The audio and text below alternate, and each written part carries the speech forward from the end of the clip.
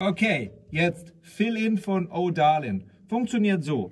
Ähm, erstmal läuft immer die Bassdrum durch mit dem Grundbeat. Also 1, 2, 3, 4, 5, 6. Das ist auf jeden Fall klar. Das heißt, das muss erstmal gehen. Der Fuß läuft durch. 1, 2, 3, 4, 5, 6. Das gibt die Struktur auch für die restliche Band und ist übrigens etwas, was total hilft, wenn man ähm, Fill-In spielt, dass irgendwo der Beat durchläuft. Hm? Auch für die restlichen Spieler.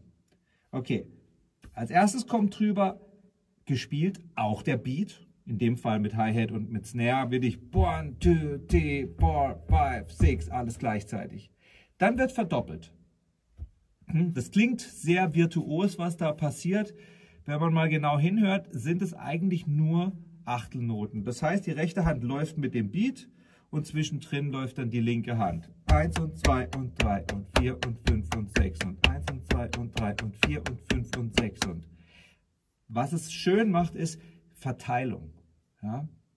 Das heißt, es klingt nicht einfach nur ta ta ta ta ta ta ta ta ta ta ta ta, sondern es ist eben genau dieser Schnittpunkt zwischen neuer Rockmusik, heute würde man das eher komprimiert spielen, und diesem alten jazzigen Ansatz. Deswegen ist diese Zeit, diese 20 Jahre, 60er, 70er auch so interessant, weil die Leute quasi eben nicht so, so, so, so, so klar sind, was sie da machen. Und gerade Ringo Starr ist überhaupt nicht klar, was er macht. Er spielt klare Einheiten.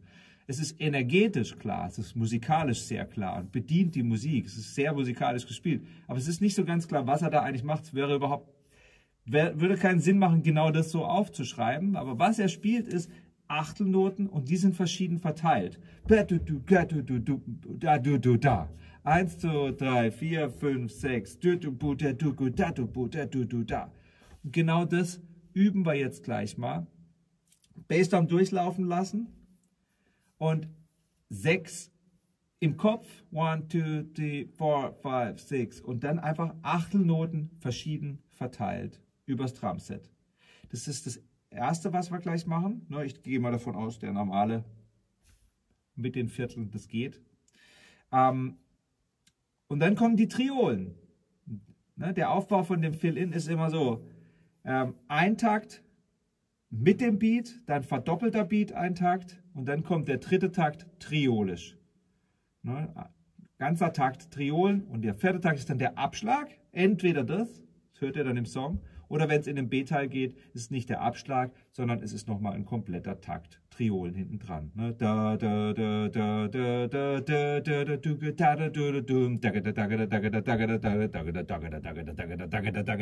Nächster Teil. Oder eben hier auf die Eins. Da, da, da, da, da, da, da. Auf den vierten. Gut. Und bei den Triolen ist es auch so, wild verteilt. So. Ich mache jetzt mal einen Takt Achtel und das wäre die Tapas-Übung. Ein Takt Achtel, ein Takt Triolen. Und dazu ist immer die Bassdrum in 6.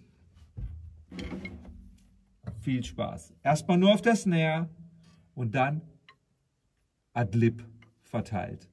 Bitte auch Adlib verteilen. Das ist die Übung, unabhängig davon, ob der Song so gespielt wird, sondern einfach für euch. Ein Takt Achtel, ein Takt Triolen im Sechser. One, two, three, four, five, six.